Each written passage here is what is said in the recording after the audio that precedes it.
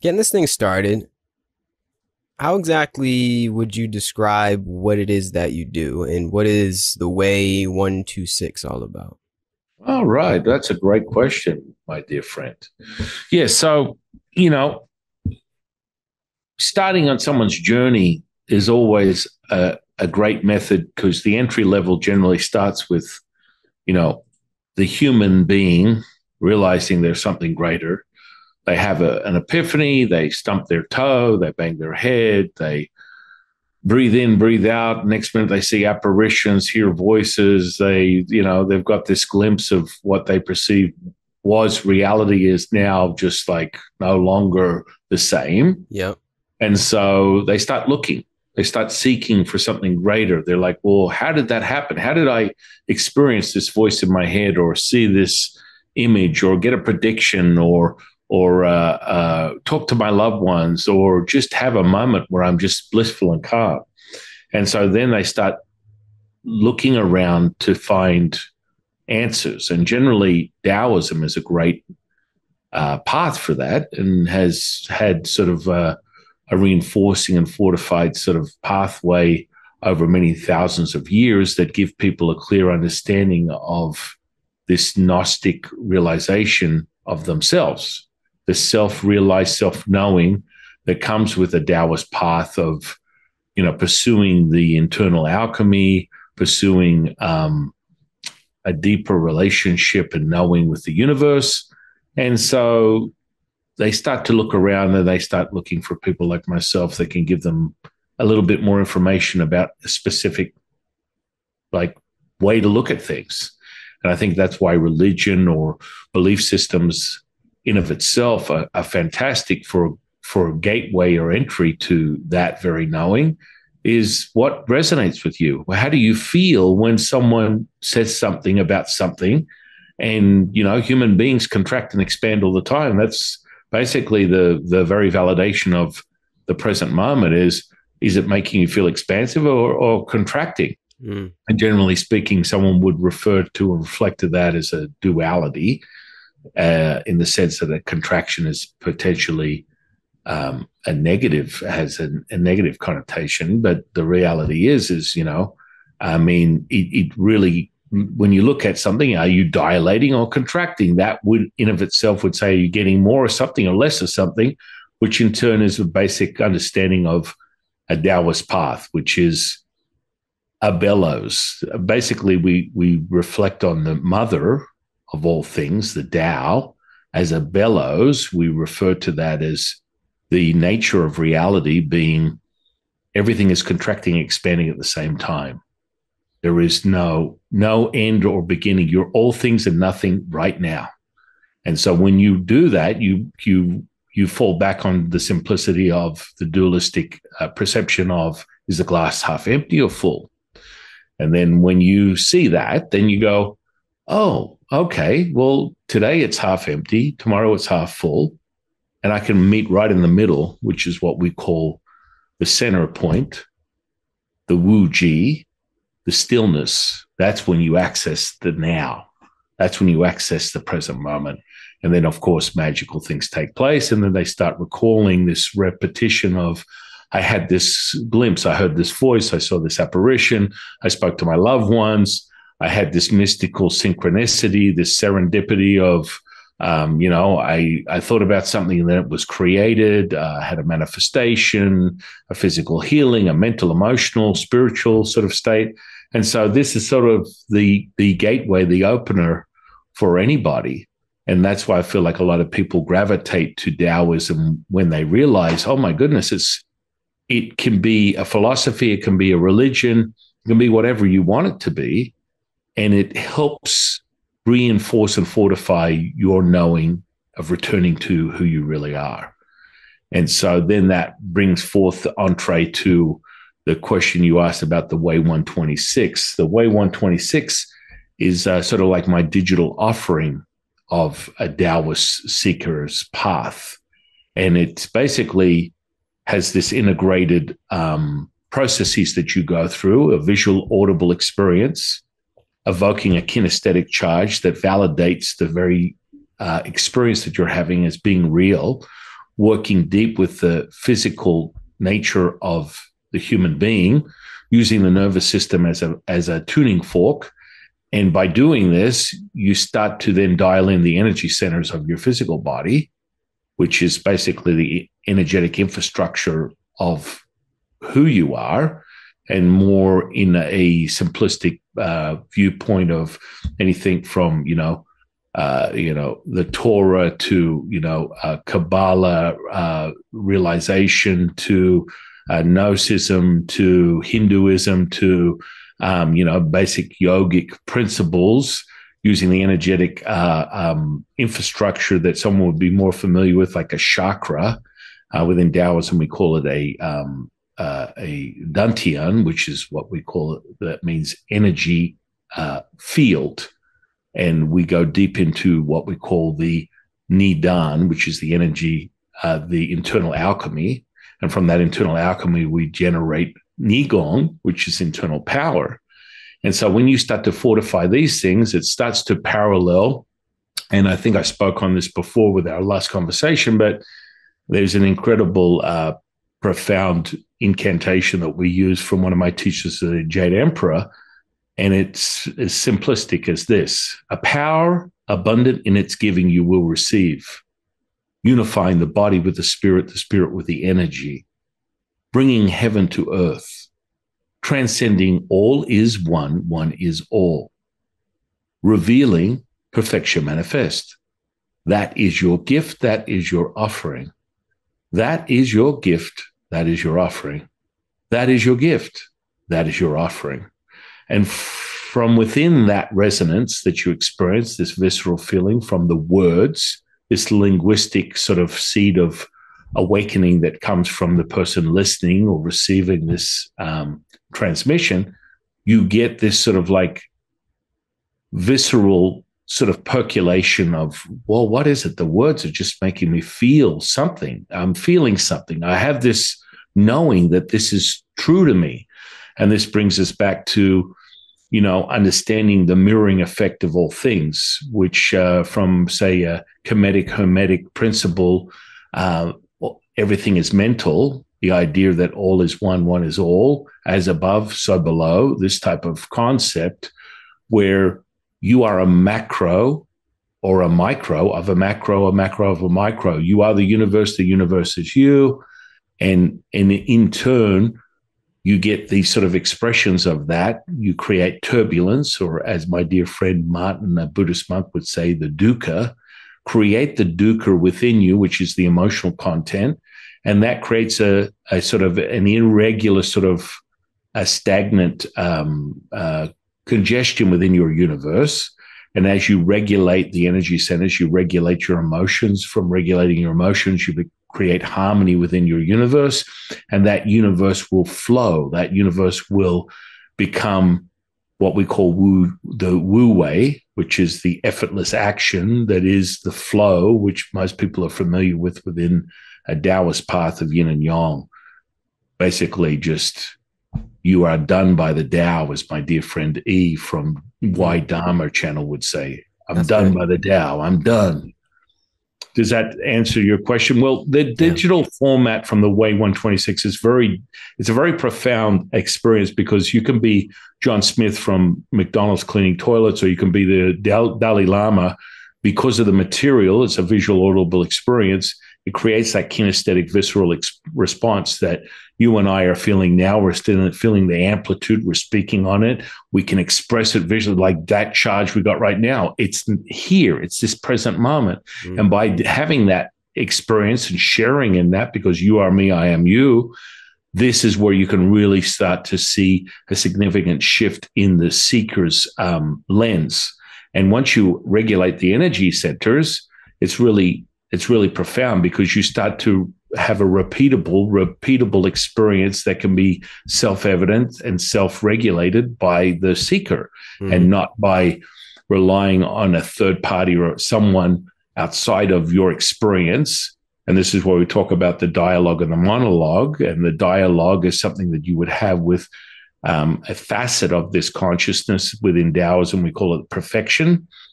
The diamond is perfection manifest and you look through the facet, giving yourself another insight into your reality. And so that information then is revealed, whether you're having a dialogue with your spirit, whether you're having a dialogue with um, yourself, and then ultimately you want to uh, uh, uh, uh ascend to a, a monologue where you are the now.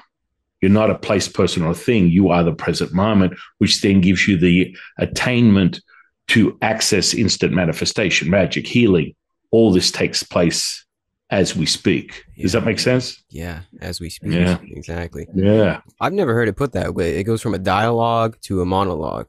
Yeah. Wow, that's yeah. so succinct and very powerful. Yeah, man.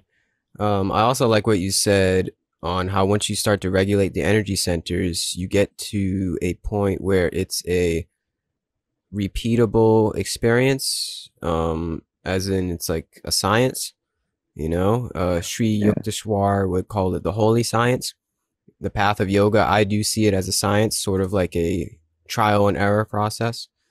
And uh, once you get it down, uh, yeah, it's just simple to do. May not be exactly easy to do, but quite simple. Once one taps into this force, you could say, it's quite simple. Like you just you just know how to go about it, and then you you just work with it you know, and it works with you. It's the same thing. And uh, yeah, it's quite powerful once that becomes um, apparent in one's life. But um, on that note, let me ask you this one: What are the practices in the Taoist, in the in the Taoist way of life, that allow us to tap into these energy centers throughout our body? How do we hone in? Oh, right. Great, great question. Mm-hmm. So first you you start to identify with the simplicity of what it is that you're experiencing. And first and foremost is realizing that your emotions don't control you, you control your emotions.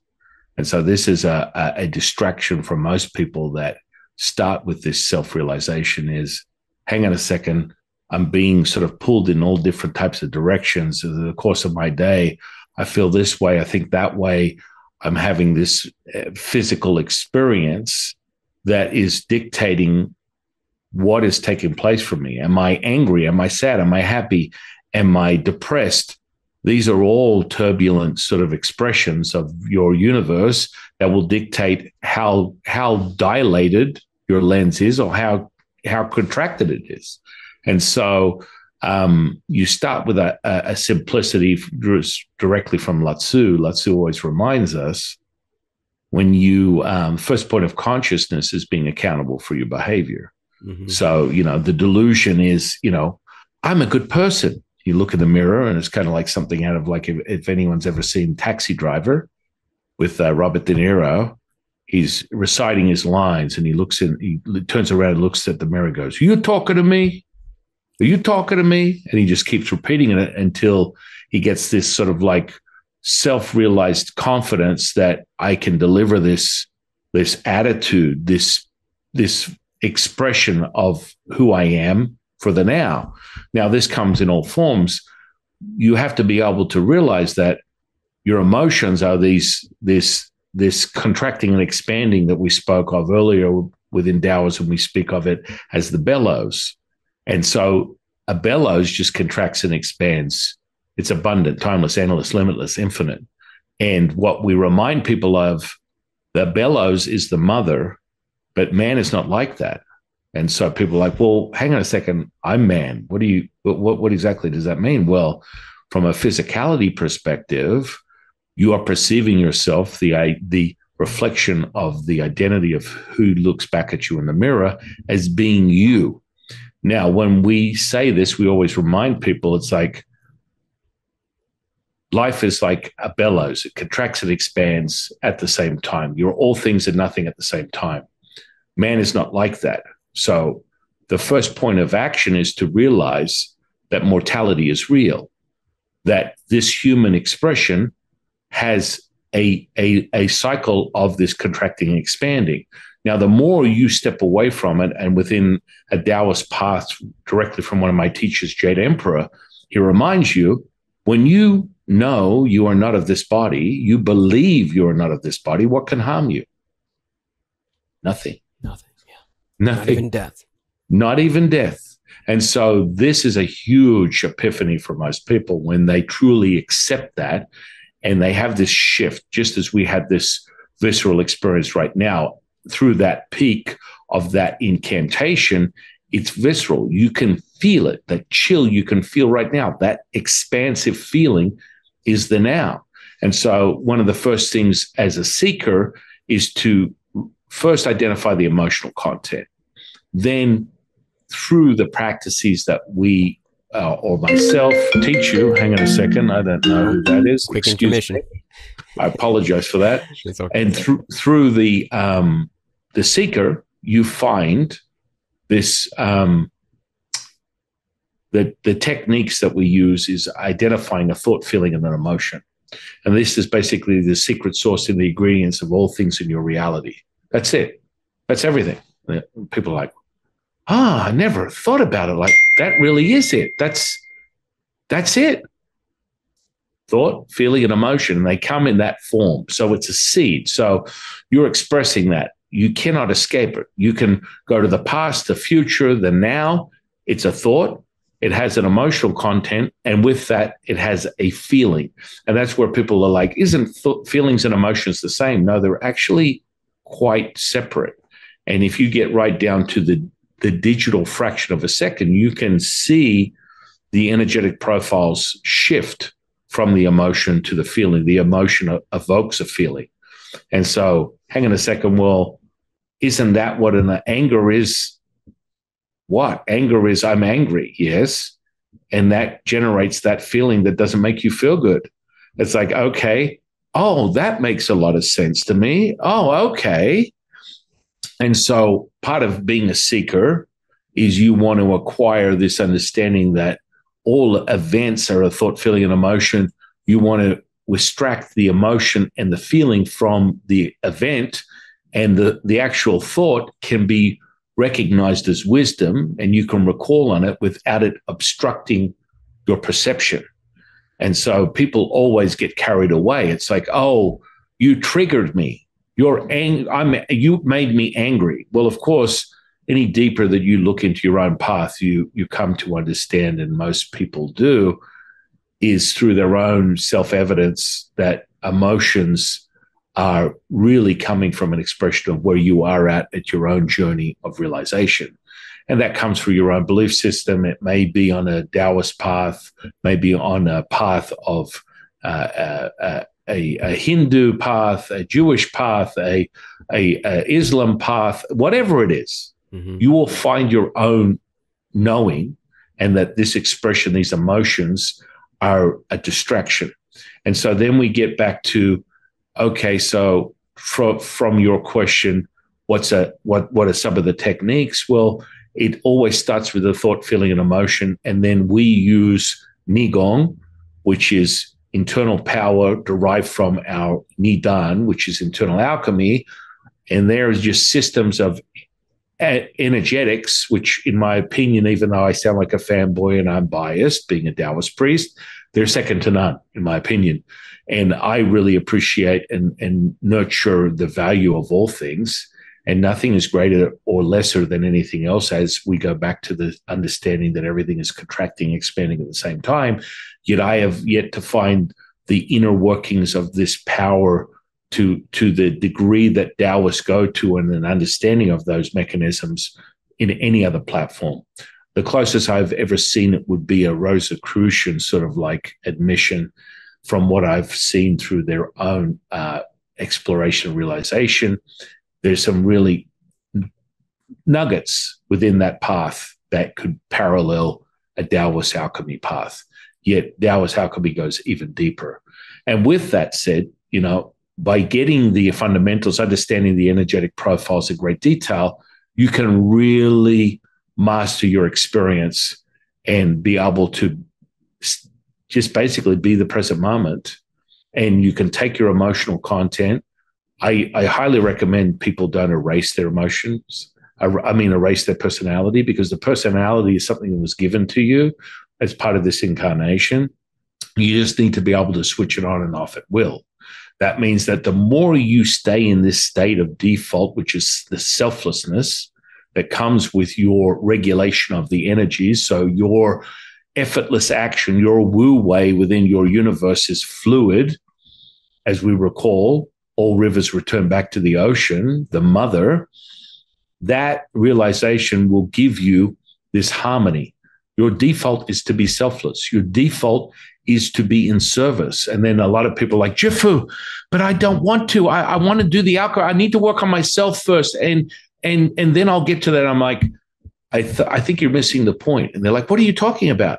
I want to I want to master the alchemy, and then I'll get into what happens is when you are in service of others, you are in service of yourself. And they go, whoa, whoa, whoa, mind blown, because you are me, I am you. Yeah. And then they're like, oh, well, if you're saying it like that, then let's get right down to the let's get right down with the get down. And I'm like, absolutely.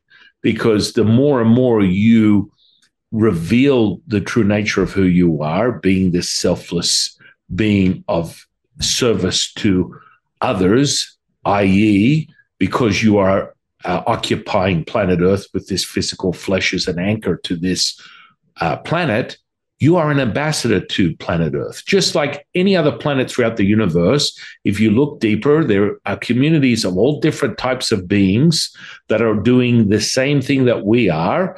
We're operating within this incredible gift from the Tao. And by doing that, they are enriching their own experience. And by enriching your own experience, by collectively supporting the spiritual consciousness of humanity, in this case, planet Earth, in this case, the avatar that is handed to you as a seeker is the consciousness expressing itself through your very now. By cultivating that, you will return to that nature and it will be selfless. You will not have to think. It always returns back to the simplicity of if you're thinking, you're not knowing. If you're knowing, you're feeling. And it always returns to that feeling state. So the, the, no matter what your development of your clear senses are, you will have a deeper understanding of the feeling, which then can be reflected on contracting and expanding. So, on a deep, deeper cultivational practice of now, it starts with identifying your emotions, realizing, realizing your emotions are a distraction and to regulate them to elevate and basically level your spiritual consciousness. By regulating your energy centers you regulate your emotional content. By regulating your emotional content you create this harmony within your universe which creates the wu wei the effortless action and all of a sudden it's good to be you. Mm-hmm. becomes extremely effortless. And the more you and i are contributing to the the the betterment of humanity and the sp- spiritual consciousness by raising that more and more people will remember who they are. More and more people will return to the true nature of that. And with that we will create this incredible um, uh, you know nurturing of planet earth as it should be. It's a gift from the Tao, mm-hmm. an incredible um, blissful place to be. It's not as distorted and as twisted as everyone would like to perceive it as. And uh, that comes from your own realization. And by helping people understand that through these energetic practices, they level up very quickly. And um, you could consider that um, lucky to be you, mm. which is just perception. Yeah. Wow. That was um, very well said. That's yeah, that was a really good answer, man. I feel the same way that once one does refine their energy centers, gets a little more self realized, you could say that there does come about some sort of obligatory servitude, some sense of selflessness that just comes about not in spite of the personality, through the personality. We use the personality the Tao, you could say, uses the personality. They become one. And in that creates a harmonious servant in the personality structure. I feel that, man. And I think that is just, that is the way. The way is the way. And that way is toward, you could say, loving, compassionate, cooperative, uh, just helping out a little bit. There's a lot of different labels, but it's just uh, becoming a better person, maybe you could just say. And that ultimately, if we all do that in our own accord, does lead to a better world. 100%. It's like, how else could it lead to? I mean, it's not going to lead to a worse world. Uh, and I think that's really what's going on here. I think that's what the path is all about. Whether the path, the path is Taoist, Christian, yogic, uh, it's all the same way. It's all a way of betterment for this holy planet Earth that we seem to be incarnated on. And it's not just for this lifetime, it's for future lifetimes as well. That's really what this whole thing is about, man. It's be, we're just becoming better servants and creating better lives for future lifetimes. And uh, yeah, I'd, I don't know. If, what else could it be about? it's like it, it becomes apparent and obvious, right? Like in through that um, inherent wisdom that we tap into, it's like, oh, of course, that's what we're doing. I like to say, in a Christian sense, we're building the kingdom of heaven. we're the builders of the kingdom of heaven. And uh, yeah, that may seem grandiose and lofty, but I think that's what's going on here, folks. but I think you mentioned it. Uh, that's kind of contrary to popular belief. You know, if you turn on the news, it doesn't really seem like that, right? But behind the scenes, really what's going on here is we are building just some sort of heavenly realm, a gift from the Tao. Like you said, I like that. I've never heard that before. A gift from the Tao, a gift from God, you could say. You don't have to say God, but just like a gift, a miracle. We're building this miracle together. Not only are we the miracle, we're we're like building ever more novelty upon the miracle that we are. It's such, and that's the that's even more miraculous. Is like that we get to take part in this miracle through some kind of divine creativity that has been um, invoked within us. And yeah, hallelujah! It's quite beautiful, man. I feel it for sure. So on the note of practices, I guess let's kind of take it down a notch. Would you say you kind of outlined the theory of practice and where it leads to, right? Now, what does this look like in a physical sense? Would you say like meditation, some sort of Tai Chi, Qigong, uh, some kind of asana yoga practice or things of the like? Like, do we have to eat well? Like, what does it actually look like in someone's life to bring this about? That's a great question. Um, you know, when you become the maestro, the master of your 50 trillion cells that are represented as your physicality, you get to access the 0.07 millivolts of electricity that are potential, potential of what could be. And when you harness that, all of a sudden you can transmute it into anything and everything that you could imagine. And so it's only limited by your imagination. So doing sort of things that are, would seem superhuman become you know, part of the expression of who you are physical healing, mental, emotional, spiritual healing. All of these things are now potential as you continue to connect the dots. And so when you say, oh, do you need to eat well? Is there certain exercises? I always tell people, you know, um, within, you know, developing what in some uh, practices of, of internal alchemy, they would call it the substance, developing the substance, the Fajin substance that comes with the path of uh, the Taoist cultivator. We just call it chi, energy, you know, prana. This is the thing that um, is basically the seed of all action and inaction within this duality. Without it, it's null and void, non existent. Mm-hmm. And that's not possible because everything is contracting and expanding all at the same time. So when you eat certain things, it all starts from the seed of your perception.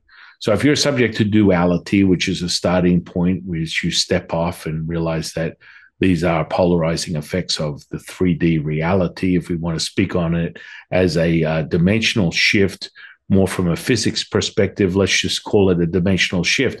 If we're in a 3D reality, to observe that you're already in the 4th D. That means that time and space can be optional. And for you to step over to what they would consider the fifth dimension, you're now null and void of time and space, and all bets are off. And now all of a sudden, the mastery of Neigong, the internal power, is to be able to operate in all dimensions at once. And people, uh, most of the questions are, well, what, my, my goodness, what would happen? Well, the self evidence of that is the ability to transmute a physical manifestation like a healing. This is the evidence that you need as a human to validate the skepticism of what some psychologists would consider a heteroaction. As a human being, whatever you start, you must finish. It's the it's the simple framework of the human condition. And this is where you start. And then you realize you are not of this body, as we spoke of earlier. You are all things and nothing at the same time. And the only way to make that like a realization is to be able to cultivate the energetic potential so that when you put your attention intention to things, you're altering this 3D reality. And I like to get people to start with simple things like um, as you cultivate the substance, as we call the chi, you um, have a direct line of channeling that and and transmuting that energy through this vehicle, and we use the energy centers, the dantians, to do that very separating and merging of electromagnetic potential within this spectrum. And when you're able to do that, when you put your attention intention to something, you'll watch it materialize. So a simplistic method would be taking some candles, preferably as a Taoist, you would use a red candle, and you light the candles and you have two flames. And you move your eyes between the flames and watch the flames start to dictate the very attention intention that you have, which will then start to be measured the palpability of the transmission of that energy through this lens, what we call the Shen, which is really the spirit projection the third eye projection within Taoism. And so that spirit power will be admitted through this channel. The Hui is the top. The energy comes down from the Hui through these channels. Now we have nine eyes within this upper dantian, not uh, a third eye or two eyes and an eye. We have nine eyes. And people are like, what in Tao's name does that mean, Jafu? Well, that's a hell of a lot more of the deeper alchemy. But just to give you a taste, when when we mention that, it instantly has a visceral effect on on the the recipient. They're like, that is crazy, but it makes sense to me. And so by channeling this energy through these these clear pathways, you can transmute the energy. So when you're looking at a flame, you can cultivate it, draw the energy down to the lower dantian, and start to pump it out as you would just like um, water from a faucet. And the more you focus your attention on one flame and then go to the other, you will notice a shift as your eyes focus on one flame, it will start to flicker. You go to the other, it will start to flicker. This becomes a self evident realization of what you're transmitting. You're altering this 3D reality with the transmutation of that energy through your attention intention. And as you continue to cultivate it and you build these dantians, you fortify them, the, the substance, the chi becomes palpable and it becomes very dense. And so now you're able to really be at one with the present moment. You're able to transmute the energy. You're not using the energy from your physical body right? So this is a trap that most seekers start with. Whether you're, I get this from so many different people, whether you're an attorney, whether you're a judge, whether you're Dalai Lama, whether you're a janitor at, at McDonald's, whether you're a healer, a Reiki master, a massage therapist, a, a Qigong practitioner, um, a, an acupuncturist, a Chinese medicine doctor, everything has a price. And what does that mean? Well, your attention intention will siphon your very life force no matter what you're doing. So if you are, are not in a level of development where you can contain that and nourish the physical body, when you, you know, the old expression, whatever you do, you give it 100%, you give it your all, is not just an expression. You're literally handing over your life force through whatever endeavors you're into until you're able to contain that energy so you're not drawing from your physical body. So when you come into this world from a Taoist perspective, you have a constitution, what we call the Jing, which is the the essence of who you are. And it starts, I use the um, understanding analogy of, of a battery. You're given a battery. The battery normally, I've never seen a 100% battery. So when someone comes into this world, they're normally about 80%. And then through the practices of, of the Taoist seeker, I teach you how to nourish that, bring your battery up to 100%. From 100, you go to 1,000. From 1,000, you go to 9,000, being the highest numer- num- numerology point of access. Nine is the highest point for a Taoist. And we refer back to the simplicity of the cycle of life. Isn't it interesting how it takes nine months from conception to birth for a human to be created, which then we reference back as a Taoist seeker to the creation of the universe. And then we look at cosmos through those three cycles, through what we call the three pure ones that reveal that supreme purity, J purity, highest purity are the keepers of the cosmos and the creation of the cosmos. Yeah, that shift that you and I just had, that aha moment, that chill is one of those visceral moments. It's like, it's now. It's, it's like, I don't know what San Qing is saying, but it makes sense to me. I feel it.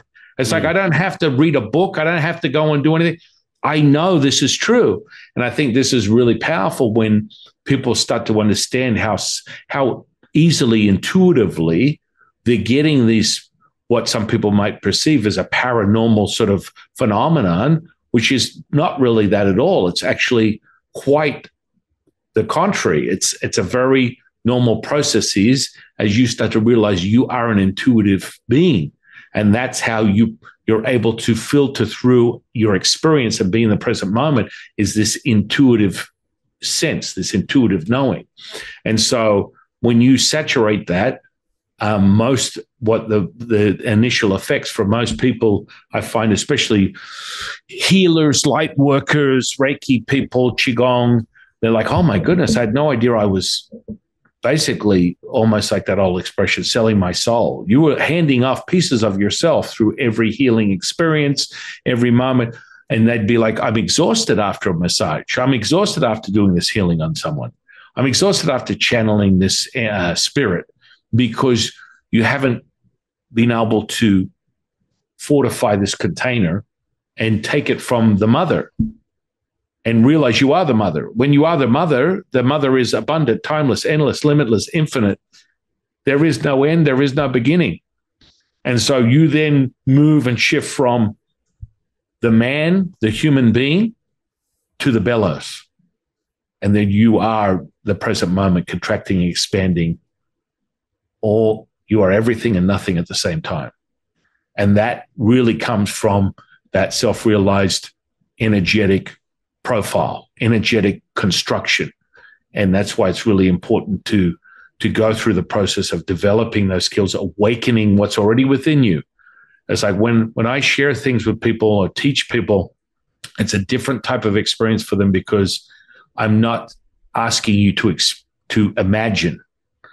It's actually already there. All I do is open a gateway to what you already know and you experience it and go, holy moly, I was feeling that before you even said it because it's not a figment of your imagination. This stuff is here. Your, your spectrum, your electromagnetic spectrum that you visually are seeing is just a minuscule amount of what the potential is. And when we switch that on, all of a sudden you're seeing 99% of what the rest of the world cannot see. Hmm. due to your own development, through your own energetics, your own skill set that you are mastering yourself. That's why the energetic potential is so, in my opinion, the be all or end all for any seeker. You must master that potential that you have so that you can optimize this present moment and this consciousness that you are being reminded you are. Does that make sense? Oh, yeah. Amen. Yeah. Amen and it leaves me feeling unlimited potential. That's the beauty of it. Unlimited potential. It's um quite the opposite of the popular paradigm that we live under, which is scarcity, limits, very, very shallow and false ideas of who we are or who we should be. And then once one taps into this, man, it's uh yeah, quite unlimited. I don't know any other word to use. Yeah, it's very powerful, man. And it's not like unlimited as in um you can do whatever you want god mode in a video game you know what i'm talking about where you could just you have these superpowers in a way you could say you get superpowers and you you do start to transmutate the energy but it's still within the limits of the personality. You know what i mean? It's like there's still limits but how the limits um work their way out how the limits sort of move through the Shakti energy seem a little bit limitless. They seem to like if there's like a decision tree of our personality through tapping into oneself through self-realization, clearing the energy centers, the branches of the tree of how we can take our life expand. You know like they expand in ways that we could even imagine before if we just stayed in this simple scarcity mindset. You understand the um the visualization i'm trying to draw as like uh just just more choices that can be made more freedom it's not like you don't become god but you do start to tap into a god essence you know you start to use one's free will uh, a little more according to this said Tao, and it feels limitless at least. Uh, limitless in in our limits, despite the limits, despite suffering, you could say. It's quite freeing and quite liberating, and um, really, the essence is just creativity, right? Would you say from this springs forth this spark of creativity, um, art? You could say that comes from this eternal present moment. Like it's just an art form of one's life that we paint as we go. And uh yeah, would you say I mean that's the question. Would you say it's like an art form in some kind of way, the art of living from living in the Tao, living yeah. as the Tao? yeah, yeah, yeah, absolutely. Yeah. I mean, it's um again, right back to the bellows, I'll, I'll always remind people of understanding that the 81 verses within the Tao Te Ching, which we refer to as the magical register, is basically the roadmap for you to remind yourself from beginning to end the very simplicity of that. All is now and all is nothing at the same time. And that means creation and mm-hmm. so when you perceive things at your lowest, you're really at your highest. Always. Wait, what do you mean by that? When you perceive things at your lowest, you're really at you're your really highest. at your highest as the bellows. As you are contracting, you are expanding at the same time. So your perception of limitation is the true truth is you are unlimited. So that moment that you see the glass half empty is really half full. Uh huh. Yeah, I gotcha. Like when people say um, samsara is actually nirvana, they're one and the same, yin yang, light and dark. I know mm. what you're saying. Mm. Yeah. Yeah. Mm. Yeah. So in terms of duality, we have to recognize our limits in order to recognize our limitlessness. Bingo. Yeah. Yes. Uh-huh. And that's the dualistic uh, nature of the polarizing effects of the electromagnetic spectrum is the contracting and expanding. Mm-hmm. Once you get the rhythm and you're in the the the flow mm-hmm. and you truly are wu wei effortless action effortless effort all of a sudden you you do nothing and you do everything at the same time so the new age version of, you know, I want to give you the motivation to find yourself, to manifest things, you must take action is completely contradictory of the Taoist way of knowing, which is you do nothing and everything is revealed, everything it takes place. And that only comes from, from a deep nature of mastery of the energetic profiles. Mm-hmm. And you, you will not, because there's this, you, you can shift into these states from a, a physics perspective. These dimensional shifts are, are palpable. And you know, there's a knowing that comes with that. And so there's no room for um, uh, distortion or dukkha when you are able to access that energetic profile. You can, I'm here. And then the self evident realization is the, bypro- the byproduct, the effect of that present moment will come in the form of a manifestation, magic, healing, and you will be able to experience it. Someone will be like, that's a miracle. Mm-hmm. How did that happen? A physical healing, a mental, emotional healing. These are evidence of perfection. And you return back to that as the mother.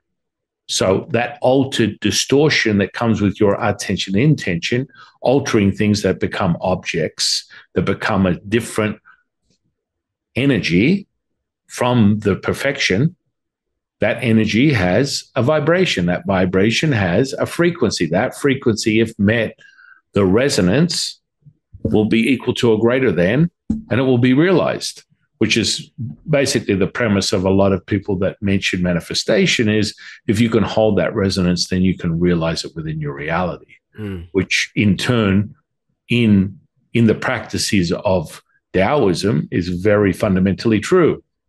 It's being able to replicate, rep- a repeatable, replicable sort of like state. When you can do that, all bets are off.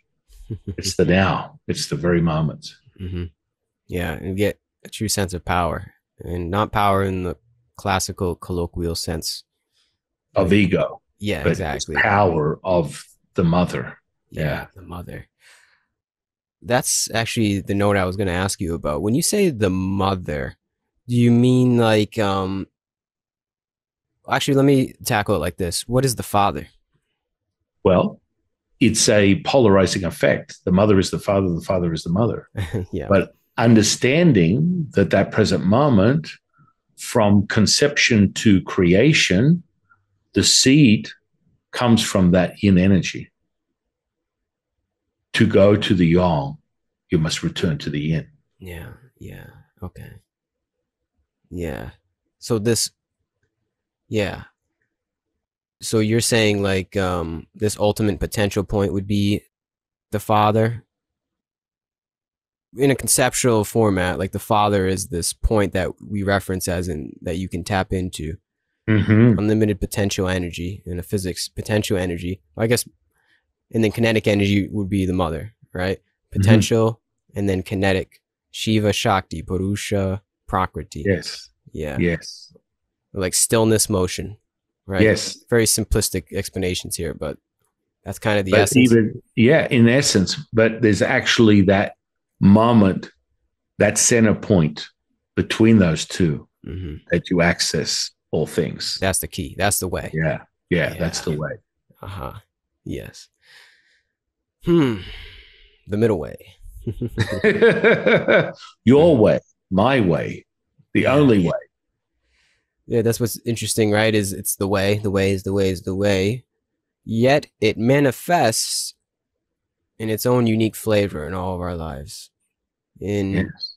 you know, how it looks on an outside point of view is different for me and you and the listener and Jesus and Buddha and Lao Tzu. It has it has its own unique flavor, although I do feel as though there is this commonality.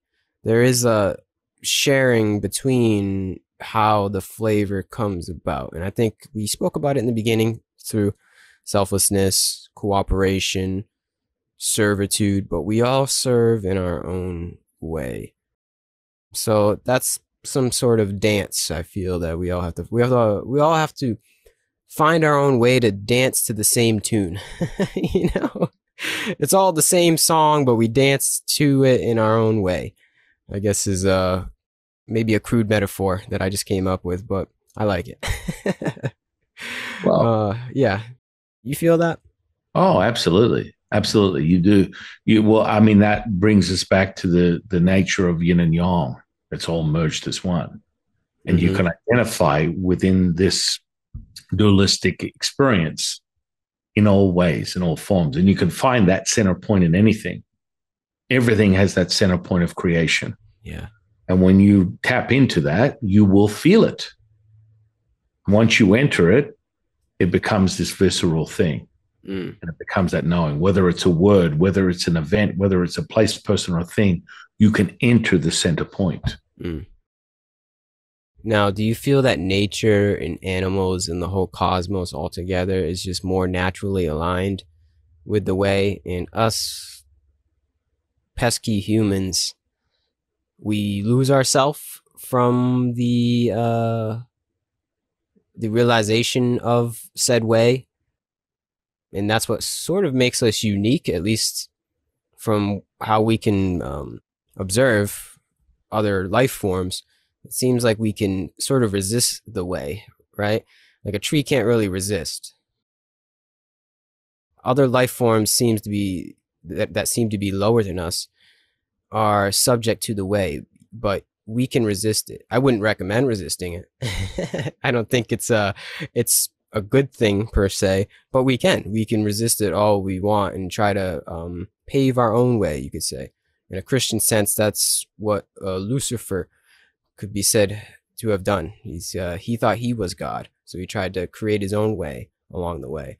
Um, so yeah, would you say that is like uh, what makes us different? Is that we can go against this innate divinity and uh, I guess free will. We have uh, a sense of free will. Is that what makes us unique in that way?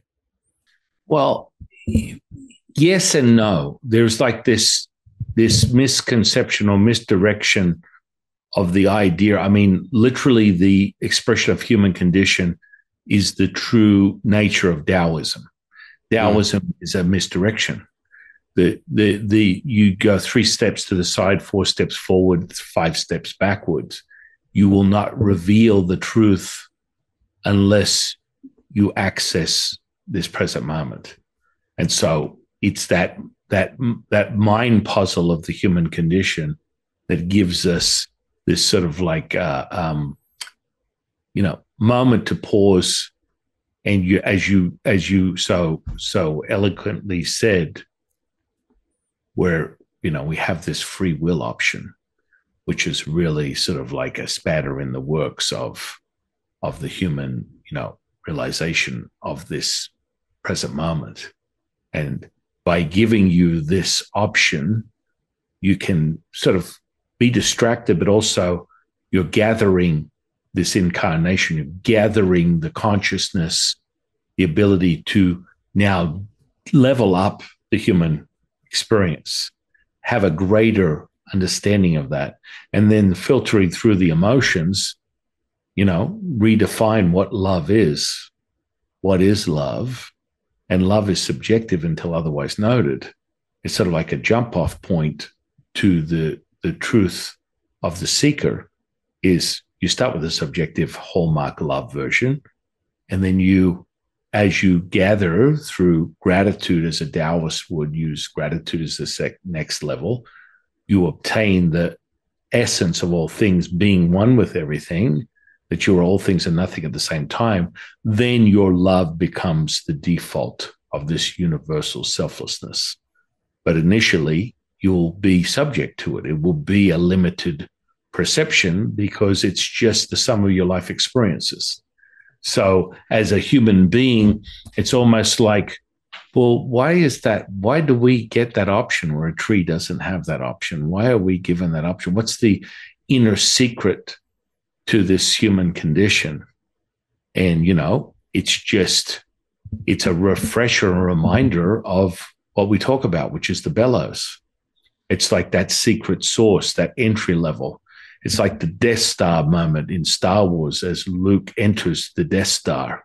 He has one moment to hit that fatal point where it's blammo, and that's that center point that we speak of. And when you refer to it, you create the simplicity of realizing everything has a center point and the energetic potential of that, because everything is energy, frequency, and vibration. Then all of a sudden, oh, this is not a puzzle anymore. Now, as Lao-Tzu has referred to this, when people ask him about the complexity of life, he refers to imagine yourself like a grain of sand, asking the beach, What are we doing today? Fall back into the beach and be realized. Yeah. And that's that moment. That's that. Hang on a second. It's all about me. No, it's not about me. It has nothing to do with me. And so that dance is the subject of polarity within a dualistic perception. And the trick, the trick, the deciphering puzzle, the elementary, my dear Watson moment is realizing now is all you have. And that's it. And through that increases your lens. And so the distraction is, oh, you have free will. We're fighting the inevitable you're fighting all things and nothing at the same time. And that's when you find the now. And that's when everything is effortless. Everything is this expression as the mother, the now. And so humans are are the the the construct of that is to be in your head, to be separated, to be in the intellect, to be considered you are separate from the universal realization we are all. You are me, I am you, we are one. And that little Sherlock Holmes moment is when everything becomes realized. And then that resonance levels up. You and I share it with someone else. It levels up that person. That person levels up five other people. Those five other people level up 20 other people. Before you know it, we're living in this heaven on earth, mm-hmm. as we spoke of earlier. Mm-hmm. The the idea conceptual to a lot, but lived by many. And more and more on a daily basis, we are coming to that realization in 2024.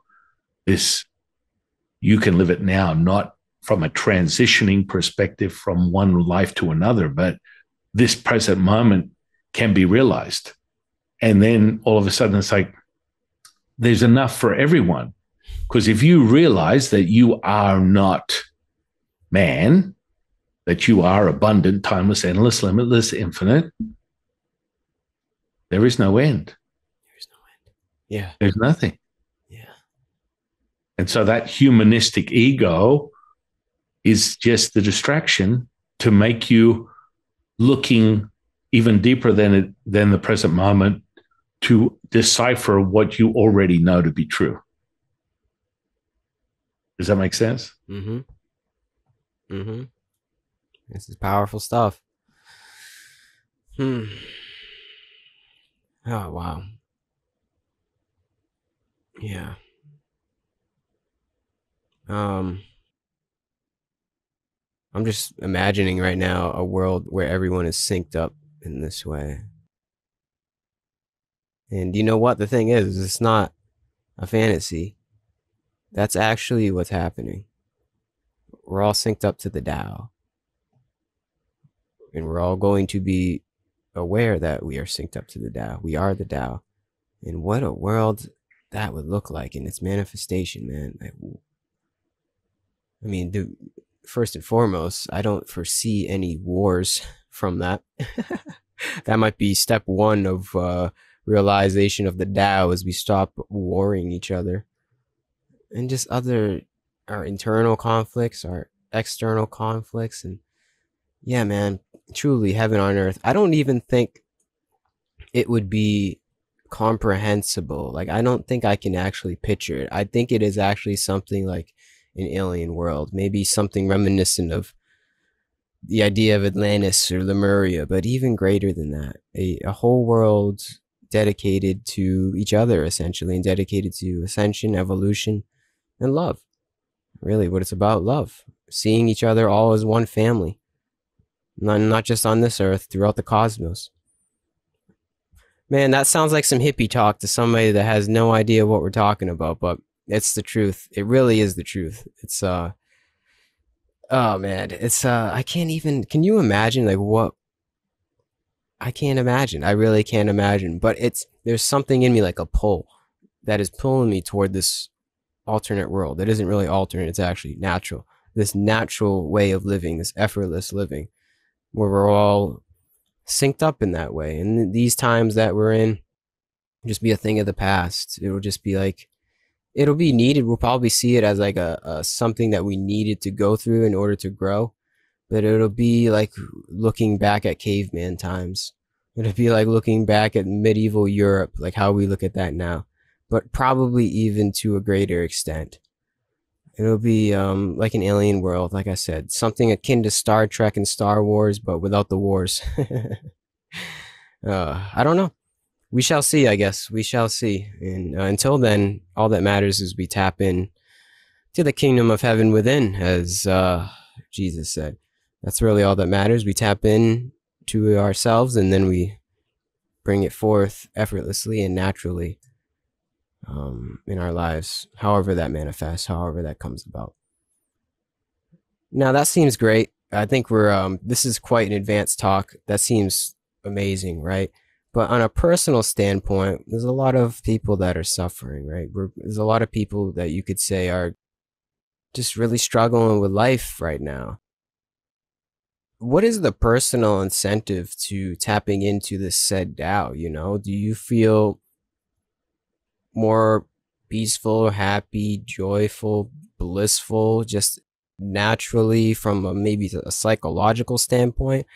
Do you just feel better having this realization and living as this realization um, in your life? Is this just like a, is this the only way to happiness? I guess is another way to ask it.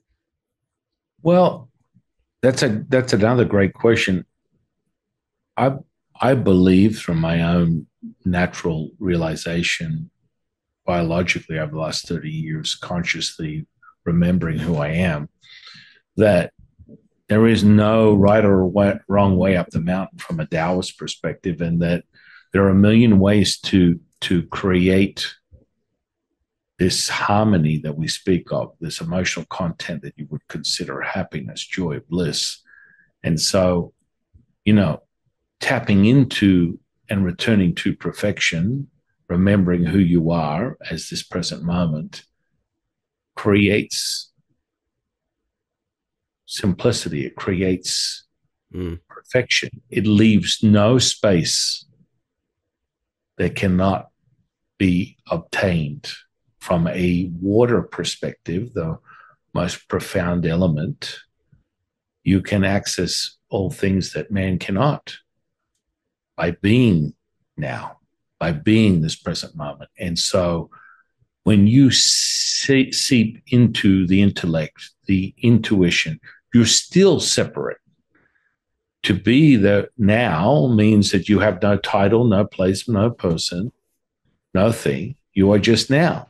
And so with that, there is no stagnation, there is no limitation, there is no uh, distortion. It's just perfection.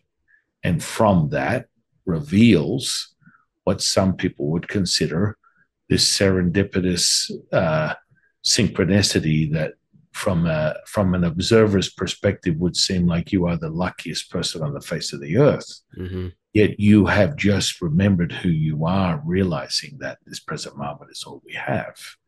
And by doing that, things are returned to the Wu Ji, the Wu Wei, the effortless action, the effortless uh, uh, effortless effort that comes with the stillness, which is happening right now, which returns us to everything is contracting and expanding. And so people always keep telling me, but Jifu, you said that before. And I'm like, I'll say it again. And if you return to the scripture, the scripture reminds you 81 times that's the simplicity of all things. When you understand this, you are all and nothing at the same time. By being all and nothing at the same time means it's good to be you. well said. yeah. oh man, it's such a miracle. It really is, man. To tap into the moment. It's oh eureka. It's there's there's no words. There's no words. I could try and formulate some kind of eloquent sentence to put some kind of label on the miracle of the moment, but there are truly no words to the majesty of this realization, man. And it's like I wish I could give it to people, right? I wish there's some way that I could formulate my words where it would work. But it's not that easy. we can only point the way. That's the thing is we can only sort of be a testament. We can definitely be guides, you know. We can definitely help others that want the help, but uh, we can't. There's no there's no way to do it for anybody else. Unfortunately, you know. Maybe that's fortunately depends how you look at it. But sometimes, you know, in my compassionate sense of being, I see others suffering, and I wish I wish I wish I could do more, right? I wish I could do more. Uh, uh unfortunately, or fortunately, like I said, we can't. There's not. We all have to save ourselves. I guess is what I'm trying to say. We all have to save ourselves in order to uh, save the world as well. So, um, yeah, I don't know. Um, yeah, why do we do what we do? You know what I'm saying? What, Why do we? Why are we on here on the mic? Why do we have our YouTube channels? Is this just like a giant testament, a reminder, a remembrance for anyone who tunes in that this is this is real? Yeah, I mean, you you you what you must experience pain to receive pleasure, which would refer back to this present moment and so for you to move past the condition of the human being to be now, remembering is the essence of all things. So when you say a lot of people are having suffering, they're having, uh, you know, I always remind people emotions are the basically the the lure or distraction because when you're emotional, you're suggestible. This is the distraction for you in this incarnation is being distracted by the emotional content. And by listening to our conversation, you return back to that present moment mm. and you mm. remember who you are through the dialogue, through us giving people a, a deeper understanding of just the construct of duality and what that means in a non dualist perspective as that center point. Everything is the center. The center of all things is the now. And then, okay, we have this podcast, we have this conversation, and we remember what from remembering, you are now expanding and expanding again and expanding again. And as you continue to expand, you expand more because you know, people asked me this this the other day in a podcast. Someone asked me, "What do you think of, you know, sexual practices and you know, abstaining from sex and things of that nature?" When you realize you are not of this body, the act of self pleasure is the act of self, uh, basically preservation.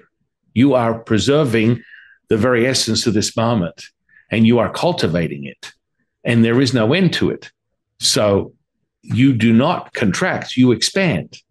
Yet there's this connotation that, you know, um, it's negative, which doesn't apply for from a Taoist seeker perspective. Yet it is within the construct of duality that you would perceive things this way, which would be offered up to you as some type of negative contracting moment, if that's how you perceive things, which is the the the the puzzle that is given to you as the seeker, i.e., Sherlock, and your Watson is that realization that the distraction is just the emotions, the human condition. We always refer to this as I'm sure you're going to hear the the um, conversation of, but he said that before because this is so simple that most people will dismiss the realization of this present moment and they can have this heaven on earth, this harmony. And it comes in a construct of what is perceived by you is the idea of God, Tao, Buddha, universe. It's been given to you because this is part of you as a conscious collective expanding, creating the creation, the co creation of this incredible gift.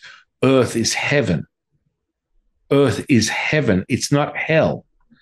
Yet, this is how it's perceived from a very limited suggestibility perspective because we're given this extra component, this idea that there is free will, and that with that free will, you can be distracted, you can be taken from your path. And then the consciousness can be distracted and obtain this sort of very limited viewpoint, which is only temporary because it always returns as the contracting and expanding takes place. I've had the the the very uh, incredible opportunity to transition dozens of people in this lifetime, and witnessing the spirit leaving the physical body is that moment of realization, and everyone has the same one. Oh, it's much brighter because it's just the beginning of a new story, a new page within this limitless book that you're given as a human being. Yeah. Wow. Mm, it's just the beginning. And it's always just the beginning, too. and it's so funny that we say that because I've had students that have have been on this conscious journey for for many years and they always they always come back to me and they're like Gifu, well, that's what I think. The energy couldn't get any more p- profound. It just got even greater. It never ends, as is the truth. The truth is this, but the distraction is you're being sold on the limitations of who you are.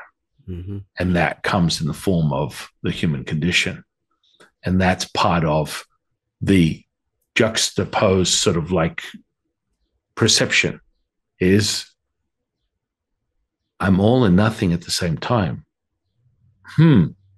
Now, are you in your intuition or are you in your intellect? Are you merging the two to realize that this is the now?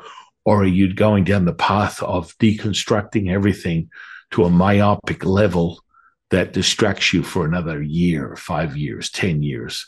And then they, you reflect on this very moment and go, I was there 10 years ago. It's now. It's now. It's now. It always was now.